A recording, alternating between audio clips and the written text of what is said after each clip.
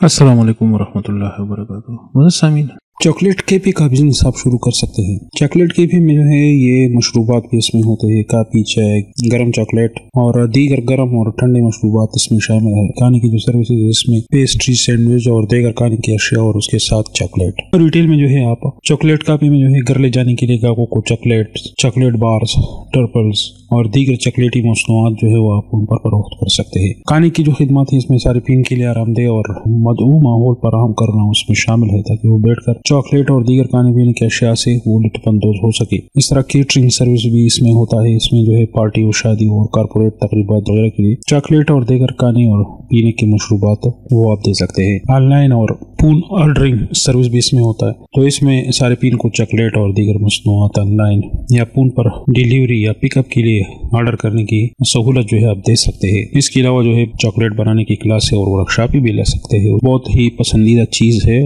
आप consulting business भी start कर सकते हैं। मशावरती कारोबार। सबसे पहले तो आप एक निच का जो है उसको आप डेवलप करें।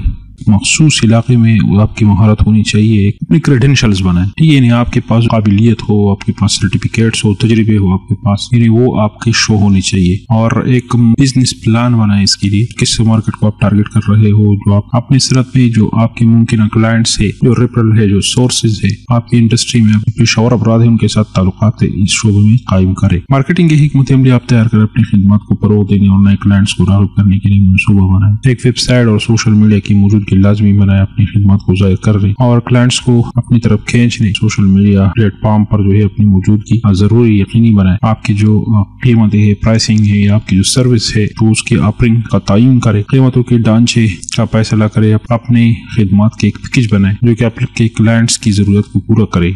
वन प्रोडक्ट रेस्टोरेंट ये भी आप शुरू कर सकते हैं। इसको तस्वूराती रेस्टोरेंट भी कह सकते हैं आप। मखसूस किस्म का खाना या मशरूब जिसमें आप महारत रखते हैं। तो उसकी सर्विस आप पेश करते हैं इसमें, मसलन पिज्जे का रेस्टोरेंट या ऐसे रेस्टोरेंट जो सिर्फ़ आइसक्रीम पेश करता है, इस तरह के रेस्टोरेंटों में एक ही मेनू होता है। जो मुख्तलिफ़ हालात या डायमेंशन के साथ जो है प्रोडक्ट तक महदूद होता है। माहौल, सजावट और सर्विस भी इन रेस्टोरेंटों की तस्वूर से मुताबिकत रखने के लिए तैयार की जाएँगी। मिसाल के तौर पर वन प्रोडक्ट रेस्टोरेंट जो है, जिसमें आप आइसक्रीम पेश करते हो तो उसका माहौल ज़्यादा आरामदेह होना चाहिए। और वन प्रोडक्ट रेस्टोरेंट अगर स्टिक पेश करता है तो वो ज़्यादातर रस्मी माहौल उसमें होना चाहिए। बहुत से लोगों ने मिलियन अर्न किए हैं वन प्रोडक्ट रेस्टोरेंट से।